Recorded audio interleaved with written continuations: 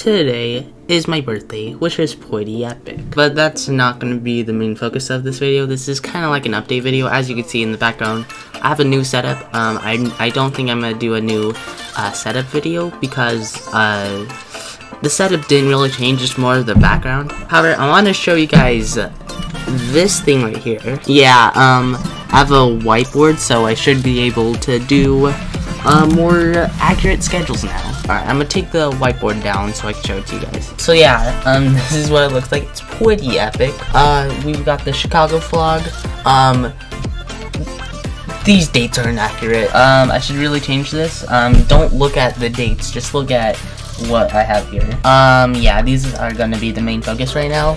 Um, yeah, just a little preview of what's gonna, coming up next. Uh, you'll also see Future Funk right here.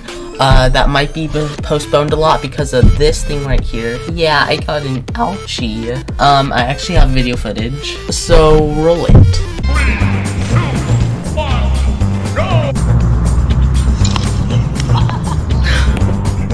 I also took a uh, picture of the aftermath, so if you don't want to see something gross, then close your eyes.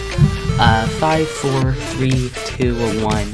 Bam, here it is. Yes, that is my flesh right there. Okay, uh, you could open your eyes now. Yeah, um, uh, I'll still try to do Future Funk 2.